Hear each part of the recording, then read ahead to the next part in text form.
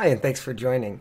In today's video, we're going to look at a few bugs in AutoGen Studio, and more importantly, they're not showstoppers, and so we're going to see real quick how to move past them and not spend frustrating time dealing with bugs. So um, the clips uh, that we're going to look at in this video, I was recording a different video yesterday, so I've already shared on the channel. While I was recording that, ran into several user interface bugs in AutoGen Studio, and again, found some simple ways to work through them. So let's go ahead and dive in and take a look at those. Thanks for joining. Got a brand new AutoGen Studio container running on my Tanzu Kubernetes environment here. Just spun up today. I like to spin new ones up of these. Good and bad. Sometimes we do daily builds. So they can be a little alpha like experience, but they're always building new stuff into this AutoGen Studio interface. So let's go ahead and we'll create couple agents. We'll create an agent for each of the different models. So first, let's go ahead and create a new agent, and I want to call this one 213B assistant. I'm just going to say terminate just for this. And I don't need a system message for now, just for this quick test. We'll focus on adding our model. And now we have that model set up.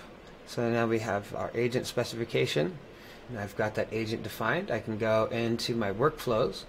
We'll create a new workflow. We'll click on our receiver. Uh, you notice it's, it's going by default to show the most recent assistant in this window at the bottom of our agent specification for our workflow. But you'll notice the settings don't match that.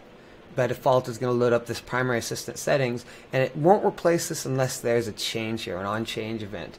So I have to actually toggle to a different assistant down here and then toggle back to create that on change event. So that those settings that we created in that agent before are applied and I thought I had set that to what did I say terminate? Let's I'm to set that to terminate and which automatically creates that system message for me here.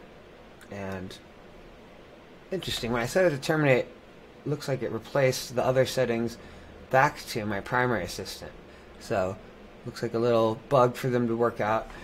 So I'm going to go ahead and copy that so that way I can reapply my Llama 213b settings. And that's interesting. Now it, it still says terminate in here, but it didn't change it. It's a new project. There's some definitely some kinks to work out. So I'm going to go ahead and I'll just leave that as is and go ahead and just paste in this other system message here. So that way I have used this before, so I know it's pretty effective. Somehow it's the, these settings keep getting reapplied. So let me go back to primary assistant. It's probably maybe because I uh, toggled that terminate. Let's go ahead and type in the system message here. And look at that. As soon as I change the system message to this, so that's definitely buggy behavior.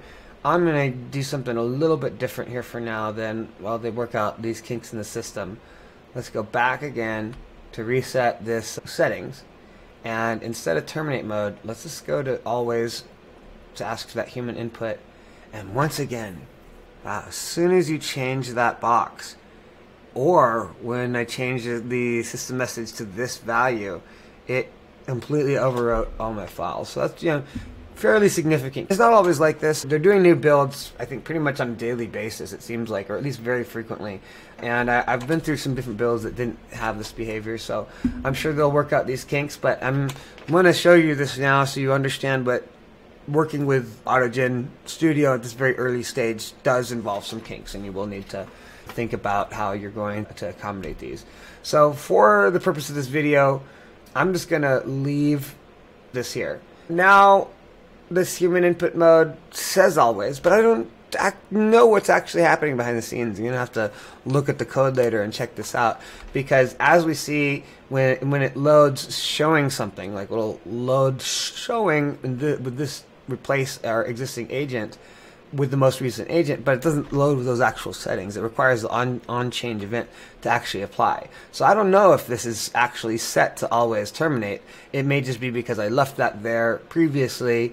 And when I applied this, notice it, it did not properly apply my model. So I'd have to reapply the model. Now, if you bypass the GUI and you just go with AutoGen Framework, my experience with that so far is it's a bit more stable. Right there, I think there's a lot more focus on making sure the core framework is working properly, and the GUI is is this nice thing, but it is reasonably less mature and, and had less attention than what I found the actual libraries themselves to be. For the rest of these, we're not even going to bother making an agent. We're just going to go ahead and skip into customizing the agent here on inside of the workflow context. Now, when you change the agent specification in a workflow, it does not go back and change the agent itself. So you can customize, you could think of an agent as, as a template of values, and you can customize that on a workflow basis without changing the template itself.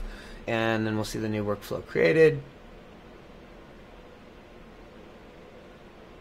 And now we can go into the playground. I can create a new session with our 13b workflow. We'll go ahead and create, and we'll say, can you show me a basic fun the world function. Point here is not to we're not testing the, the capabilities of the model now. We just want to show that we connected it to our Llama 2 13B model and that's working now. Again, while it's thinking, we only get this this little busyness indicator. And if you want to see what's happening behind the scenes, if you're you go back to your command line from wherever you instantiated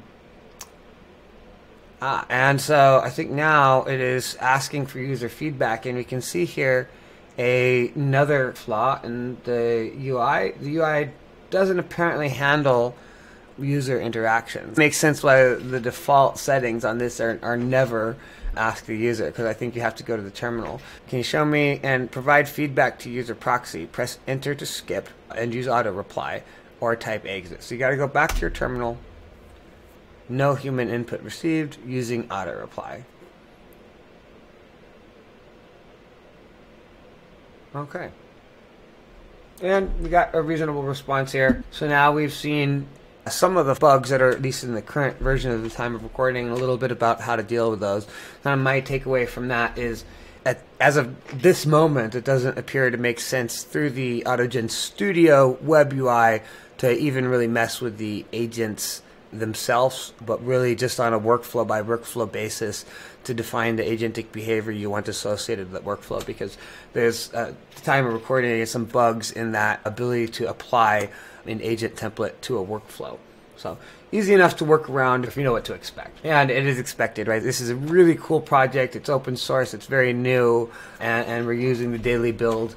And so, not a, from a buggy behavior standpoint, definitely within the range of what's expected, and, and not too bad for uh, for an early stage project like this. So, thanks everybody for joining.